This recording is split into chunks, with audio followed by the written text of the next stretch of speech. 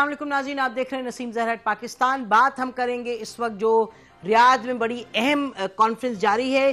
पैंतीस दिन गुजर गए जब से इसराइल ने एक जेनोसाइड शुरू शुरू किया। फ़लस्तीनियों के ख़िलाफ़ जिसको सौ फ़ीसद मदद हुई, मिली, अमेरिका से अभी भी मिल रही है। अमेरिका से मदद मिली और यूके से मदद मिली। वेस्टर्न बहुत ममालिक है जिन्होंने मदद की। और मुसलमान ममालिक की तरफ़ से और अरब लीग के जो मेंबर्स हैं, उन्होंने बहुत सी बातें करते रहे। आखिरकार हमने देखा कि आज मीटिंग की और मीटिंग, अहम मीटिंग है। इस हवाले से बात करेंगे हम नाजिन तीन चीज़ें बताते चलें। इससे पहले हम अपने गेस्ट के पास जाएँ। एक ये कि हमें पूछना पड़ेगा कि ये टाइमिंग क्यों, अब क्यों, पहले क्यों नहीं? दिलचस्प डेवलपमेंट हुई जो 9 तारीख को अमेरिका के सेक्रेटरी ऑफ़ स्टेट ब्लिंकन ने ये कहा कि जी, अब ये इसराइल ऑक्यूपाई नहीं कर सकता गाजा, हमें पॉलिटिकल सोल्यूशन की ज़रूरत है। और कोई उन्होंने पहली दफ़ा कुछ ऐसी बात की जिससे कि लगा कि जी, उन्हें समझ आ रही है कि ये मामला इस तरह चल नहीं सकता। लेकिन he went that far and not further उन्होंने टू स्टेट सोल्यूशन की बात कुछ की बड़ी माठे तरीके से। उसके साथ साथ हमने देखा कि इसराइल से क्या कल स्टेटमेंट आई। जो नतानिया हुए हैं, जो इनके प्राइम मिनिस्टर हैं, जो कि यानी कि जाइनिज़म तो जाइनिज़म है, लेकिन ये इस इस वक्त जो बला फैली हुई है गाज़ा में, ये उसकी जड़ है बिल्कुल। इन्होंने क्या कहा? इन्होंने कहा कि जी, ठीक है, हम ऑक्यूपाई तो नहीं करना चाहते गाज़ा, लेकिन हम ये गाज़ा जो है, उसको डीमिलिटराइज करना है, उसको डी रेडिकलाइज करना है, और उसको हमने रीबिल्ड करना है। और फिर उन्होंने ये कहा कि अब हमें हमें यानी इसराइल को एक हकूमत ढूंढनी पड़ेगी जो कि हुकूमत वहाँ गाज़ा में हुक्मरानी करे। तो ये उनकी जो है पोजीशन वो है। और आज हम देख रहे हैं जो पिछले कुछ घंटों से मीटिंग हो रही है, बड़ी अहम मीटिंग है। हमारा ख्याल है हम अपने पैनल से भी पूछेंगे। शायद पहली दफ़ा है कि अरब लीग और ओआईसी की एक यानी कि जॉइंट मीटिंग हो रही है। हालाँकि ऑब्वियसली कुछ मेंबर्स उधर के वो भी हैं। अरब लीग के ओआईसी में भी हैं। नेचुरली और ओआईसी के अरब लीग में भी हैं। लेकिन बड़ी अहम एक जो मोहम्मद बिन सलमान हैं क्राउन प्रिंस सऊदी अरेबिया के, उन्होंने ये डिसाइड किया कि जी अलग अलग ये मीटिंग जोन थी, इसको हम ज्वाइन करते हैं। और अभी कुछ ही देर पहले हमने देखा कि जॉर्डन के जो हैं हेड ऑफ़ द स्टेट उन्होंने तकरीर की इंडोनेशिया ने की और अर्दोगान साहब ने की, तुर्की के और फिर ईरान ने भी की और ईरान ने बड़ी लंबी तकरीर की। तो ये एक यूनिफाइंग जो मोमेंट है यूनिटी का मोमेंट है, वो बड़ा अहम है। और किसने क्या कहा, ये तो हम अपने एनालिस्ट से पूछेंगे और इसका मतलब क्या है, वो भी इनसे पूछेंगे। हमारे पास नाजीन एक ज़बरदस्त पैनल है, doctor Maleeha Lodhi. Needs no inter diplomat हैं और अमेरिका में यूएन में लंदन में इन्होंने she serve as Pakistan ambassador permanent representative समझती हैं। बैन अवी सूरत हाल को बड़ी अच्छी तरह से बीन कवरिंग दिस इशूज़ पर बात करती रही हैं बड़ी रेगुलरली और हमारे साथ हैं नाजीन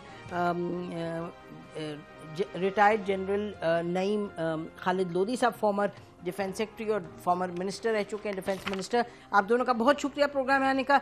डॉक्टर मलिया लोधी सो ये जो इस वक्त रियाद में हो रहा है आप क्या समझती हैं? इसकी ज़रा अहमियत पर बात करते हैं क्योंकि आप भी कहती रही हैं कि कुछ जो ज़रूरत है एक्शन लेने की वो नहीं लिए जा रही बातें हो रही हैं ज़्यादा। नसीम पहले तो ये कि ये महीने बाद हुई है ये कॉन्फ्रेंस जब से जंग इसराइल ने की है गाज़ा पे। One month almost one month after the war on Gaza ये इस, इसको ऑर्गेनाइज किया गया है।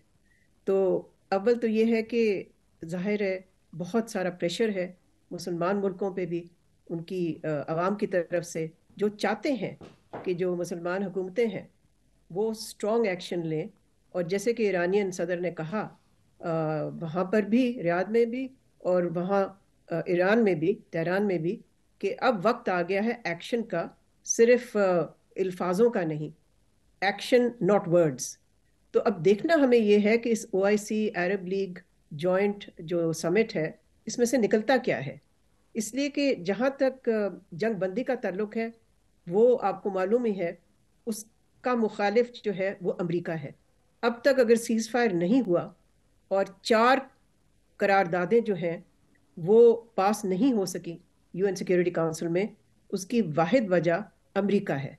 अमेरिका ने अनाउंस किया दो दिन पहले वाइट हाउस ने अनाउंस किया कि उन्होंने इसराइल को आमादा कर लिया है ह्यूमैनिटेरियन पॉज पे, जिसका मतलब है कि हर दिन चार चार घंटे के लिए जंगबंदी बंद होगी जंग बंदी होगी और फिर चार घंटे बाद फिर शुरू हो जाएगी। तो ये तो बिल्कुल एक ना इधर की बात है, ना उधर की बात है, लेकिन उस पर भी अभी तक इसराइल की तरफ़ से कोई ऑफिशियल कॉन्फर्मेशन नहीं कि उन्होंने वो भी बात मानी है कि नहीं। तो जंग बंदी की ज़रूरत है। सबसे पहले तो ये है कि ओआईसी को ये कॉल देनी चाहिए collective call for cease fire जो कि आई एम श्योर वो देंगे। लेकिन उसके अलावा उनको कोई एक्शंस लेने चाहिए जिससे कि डिप्लोमेटिक प्रेशर जो है वो माउंट हो अमेरिका पे। इसलिए कि अमेरिका ही है ना, जिसकी बात इसराइल सुनेगा। और अगर वो इस किस्म का प्रेशर माउंट करते हैं एक्शंस के ज़रिए, और बहुत सारे एक्शंस हैं जो वो ले सकते हैं। मैं इस पे वापस आऊँगी बाद में।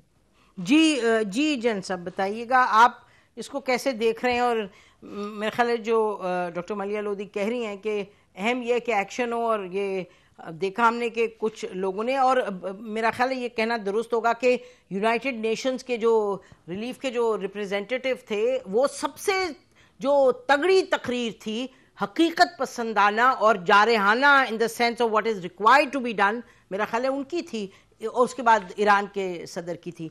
तो आप बताइए जन साहब आप कैसे देख रहे हैं? जी जी ईरान के सदर की थी तुर्की के सदर की थी और बाकी तो नॉर्मल चल रहा मैं ये समझता हूँ कि देखिए सीज फायर का तकाजा करना वो अगर आ जाए स्टेटमेंट में तो कोई बड़ी बात नहीं है। हम्म। असल बात ये है कि उनको ये बताना चाहिए कि अगर सीज फायर का हम कह रहे हैं अगर ये ना हुआ हम्म। तो फिर हम करेंगे क्या? बेशक। क्योंकि आपको पता है कि ये एक्शंस पहले पॉलिटिकल होते हैं फिर इकोनॉमिक होते हैं फिर जाके मिलिट्री होते हैं। तो अभी तक तो वो पॉलिटिकल लेवल पर हम फिर रहे हैं। इसके बाद हम इकोनॉमिक फ़ील्ड है, फिर बाद में मिलिट्री फ़ील्ड की बाद में बात आती। है आपने एक चीज़ नोट की होगी कि ये जो गाजा स्ट्रिप है, ये सिर्फ़ 40-50 किलोमीटर लंबी है और मेरे ख्याल सात से दस बारह किलोमीटर चौड़ी है। और अगर अभी इसराइल उसको साफ़ नहीं कर पाया, बावजूद इतनी बम्बार्डमेंट के, और अब जो लहजे में तब्दीली है, जिसका आपने ज़िक्र किया अमेरिका की भी और इसराइल की भी, इसमें ज़रूर कोई ना कोई चीज़ें मुजमर हैं जो कि हमारी आँखों से ओझल हैं। एक एक दो चीज़ों का हमें मालूम है, हम सब जानते हैं कि इसराइल जो है there very sensitive to casualties वो ज़्यादा अपने लोग जो है, वो मरवाने के लिए तैयार नहीं होता। और दूसरा, मुझे ये भी शक है कि शायद उनके पहले तो प्रिजनर दो ढाई सौ थे उनके खैर एक्सचेंज की बात भी हो रही, हो सकता है और भी हो गए हों। तो और ये जो बिल्ट अप एरिया के अंदर जाना है, ये कोई आसान काम नहीं है, वरना इसराइल जैसी पावर के लिए ये छोटी सी स्ट्रिप को तय बाला करके वहाँ पर पहुँच के कब्जा कर लेना कोई शायद लोगों के देन में हो कि कोई बहुत बड़ी बात नहीं है।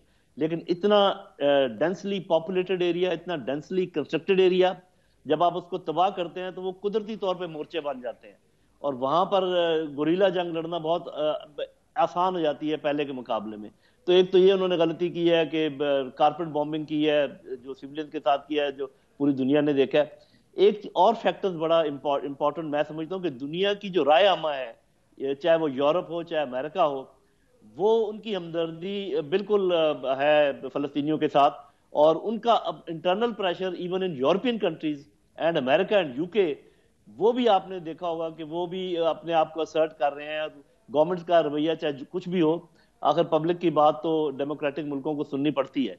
तो ये सारी चीज़ें हो रही हैं। अभी पता नहीं कि आइंदा क्या होता है। लेकिन ये बात पक्की है कि ओआईसी जब तक किसी एक्शन का ऐलान ना करे और एक टाइम लाइन ना दे कि अगर ये ना हुआ दो दिन में या चार दिन में, फिर हम ये करेंगे और इसका कोई फिर हल, और जितने मर्ज़ी स्ट्रॉन्ग स्टेटमेंट दे दें, इसका कोई हासिल वसूल नहीं होगा, जी। जी। अच्छा डॉक्टर मलिया, ये हमने देखा कि ईरानी अगर हम ले सदर, उन्होंने जो बड़ी क्लियरली कहा कि जी, आप जो डिप्लोमेटिक टाइज हैं, वो तोड़ें।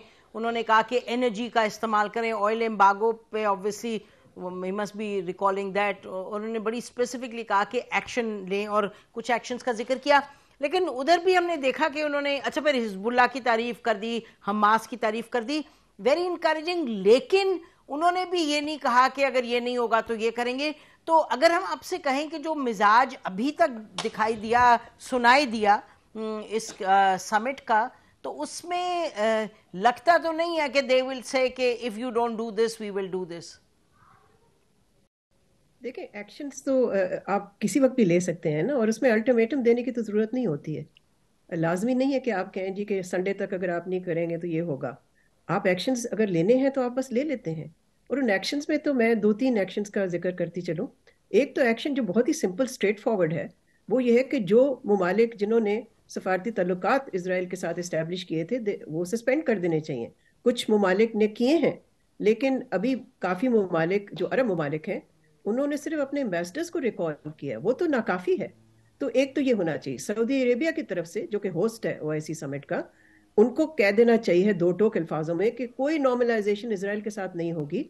इसलिए कि उस पर भी अमरीकी जो स्टेटमेंट्स आ रही हैं वो ये हैं कि जी अभी तक सिर्फ़ टेम्परेरली आर्जी तौर पे उसको सस्पेंड uh, किया है नॉर्मलाइजेशन विद इसराइल वैसे तो it's still on the table वाली बात। जी तो सऊदी तो बहुत ही सऊदी रिपीटेड ये बहुत ही हम्म।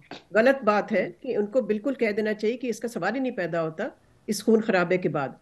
और तीसरी चीज़ मैं ये कहूँगी बहुत से अरब ममालिक के जो मुल्क हैं उनके यहाँ बेसिस हैं अमेरिकन बेसिस हैं। हम्म, उनको तो आप आर्जी तौर पे बंद कीजिए और ये अनाउंस कीजिए बल्कि कि यहाँ से कोई असला नहीं जाएगा जो कि इसराइल तक पहुंचेगा जिससे कि फिर फलस्तीनी खून बहेगा।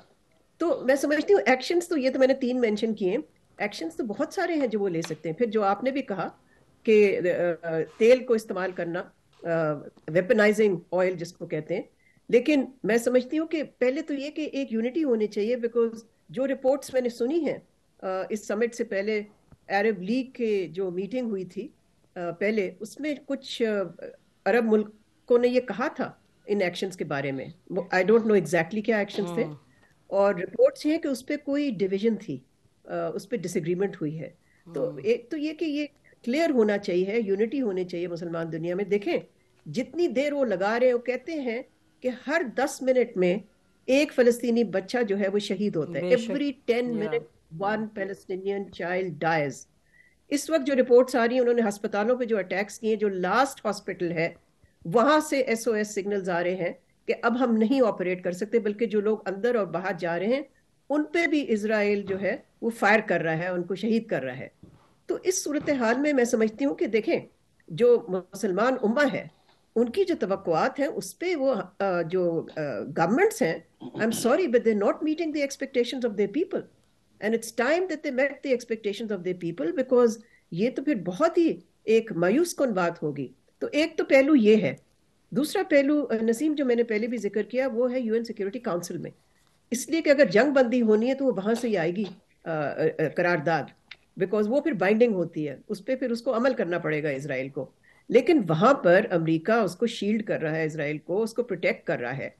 और इस वक्त आज भी जो मुझे मेरे पास जो रिपोर्ट्स हैं, वो ये हैं कि वहाँ मोल्टा की तरफ़ से एक करारदाद शायद पेश होने का की तो है। Malta is one of the E ten जो कि इलेक्टेड टेन मेंबर्स हैं सिक्योरिटी काउंसिल के. हम्म। तो वो लीड ले रहे हैं इस पे और वो एक ह्यूमैनिटेरियन पॉज की बात कर रहे हैं जो कि पाँच दिन का पॉज हो। चार घंटे का नहीं जिस तरह से अमेरिका ने प्रपोज किया है। हम्म। और उस पे भी मैं समझती हूँ कि चीन रूस और जो अरब ममालिक हैं वो चाहते हैं कि जी नहीं आप इसको छोड़े सीज फायर की कॉल दें। इसलिए कि ये जो है कि पाँच दिन जंग बंदी हो जाए उसके बाद जंग फिर शुरू हो जाए। तो ये तो फिर वही वाली बात हो जाती है कि एक आर्जी चीज़ हाँ। करना उससे बात बनेगी नहीं। इसलिए कि जितने लोग शहीद हो चुके हैं ग्यारह हज़ार से ज़्यादा फलस्तीनी शहीद हो चुके हैं।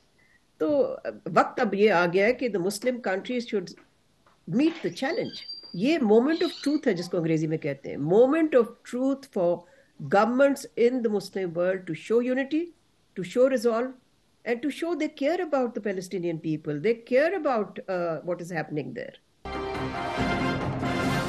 सवाल हम ये उठा रहे हैं जो अपने पैनलिस्ट के साथ कि क्या हम कुछ देखेंगे कोई पेशरफ जेनविन पेशरफ होगी आज के समिट के बाद और ये हम फिर बताते चलें कि United Nations relief and work agency जो है यूएन की वहाँ in West Bank and Gaza जो पैलेस्टीनियंस के लिए है कमाल की तकरीर है जो उनके चीफ ने की है और वो सुनने से ताल्लुक़ रखती है। तमाम मुसलमान जो हेड्स ऑफ़ स्टेट्स तकरीर कर रहे हैं it is not a patch on what he said वो जिस तरह बताया उन्होंने, जितने मुजालिम हुए और कह रहे मैं गया हूँ कैंप पिछले हफ़्ते मैं गया हूँ वहाँ गाज़ा में। उन्होंने कहा, मुझे एक बच्चा नहीं मिला।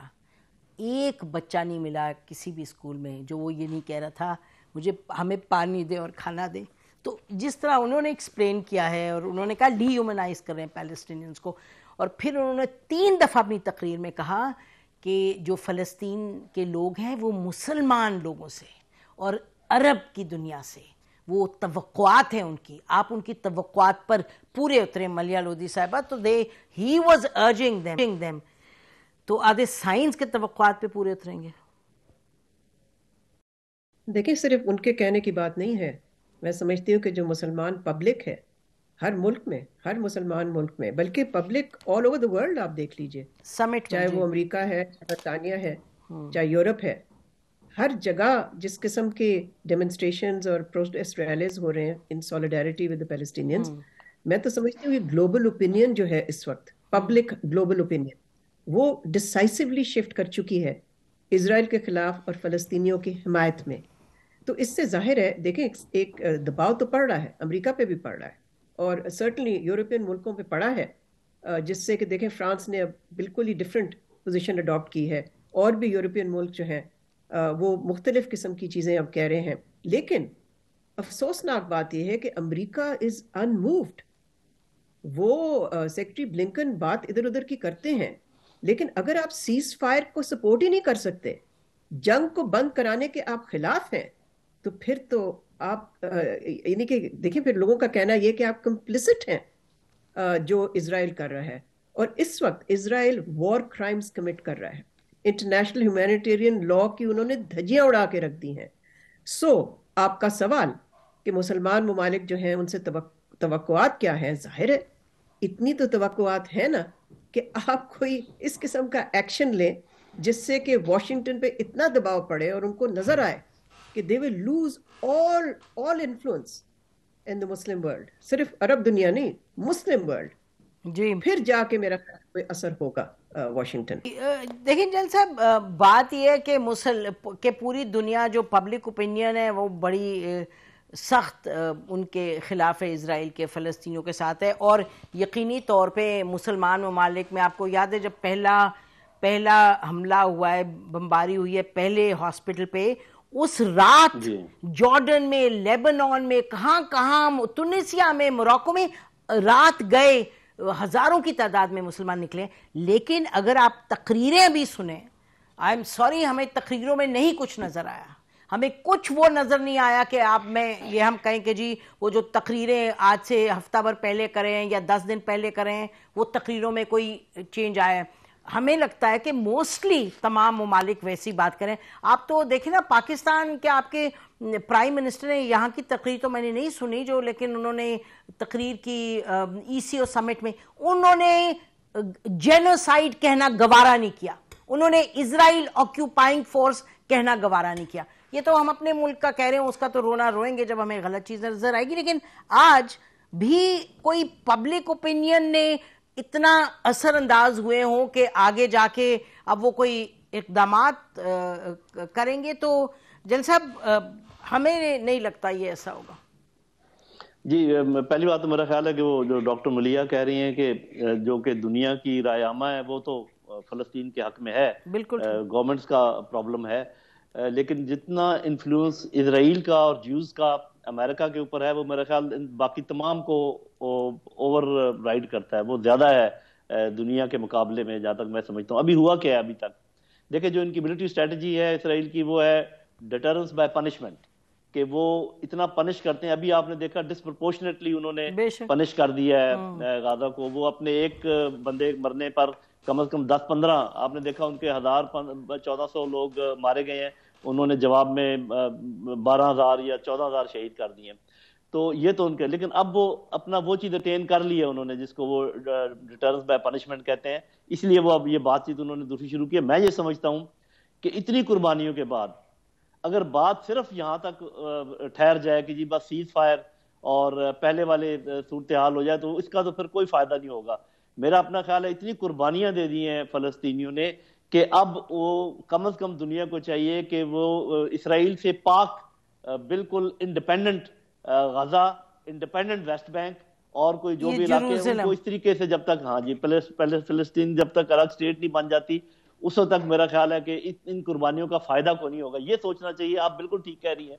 अभी तो हमारे मुल हमारे जो इस्लामी ममालिक हैं और अरब ममालिक हैं वो तो उनसे ये भी नहीं कहा जा रहा अच्छे तरीके से कि ये जुल्म सितम है और जेनोसाइड है और इस पर आप फौरी तौर पर सीज फायर करें। बस इतना ही कह रहे हैं। तो इससे आगे बढ़कर भी तो बात करने की ज़रूरत है कि सीज फायर तो अभी पीछे रह गए सीज फायर तो होगा ही होगा। आप अभी उनको इंडिपेंडेंस दें जिस किस्म की कि दुनिया ने उनसे वादा किया हुआ है। तो मेरा ख्याल ये कि अगर वापस हम उधर चले गए उसी सिचुएशन पर तो it will be all lost and ये इसराइल की एक किस्म की जीत होगी। तो इसको वापस वहाँ पर जाने के बजाय इसको जो इसका हल है उसकी तरफ़ जब उसकी तरफ़ गामजन होना चाहिए। उसकी तरफ़ गामजन होना ज़रूरी है वरना it will be short of anything जी। बिल्कुल नाजीन आपने सुना हमारे एनालिस्ट से प्रैक्टिशनर्स हैं दोनों खासतौर पे डॉक्टर मलिया लोधी साहब कि क्या तवक़ात हैं क्या होना चाहिए इसमें? दर इज़ नो डाउट कि क्या होना चाहिए। और अब हम ब्रेक के बाद आएँगे हमारे साथ पाकिस्तान के permanent representative ambassador Munir Akram साहब होंगे वो बताएँगे कि उनसे पूछेंगे हम कि वो यूएन में क्या देख रहे हैं न्यूयॉर्क में क्या देख रहे हैं, क्या माहौल है यानी कि इंटरनेशनल और वो इंटरनेशनल माहौल जो है, उसका जवाब आना चाहिए ये जो रियाद में जॉइंट एक समिट हो रहा है। क्या आएगा या नहीं